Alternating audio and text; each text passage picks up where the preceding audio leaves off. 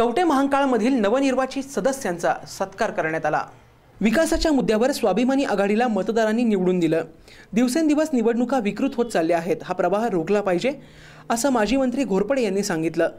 गुंडगिरी वेशीबाहेर थांबवण्यासाठी शहरातील मतदारांनी स्वाभिमानी विकास आघाडीच्या उमेदवारांची निवड केली असल्याचं माजी मंत्री घोरपडे यांनी स्पष्ट केलं.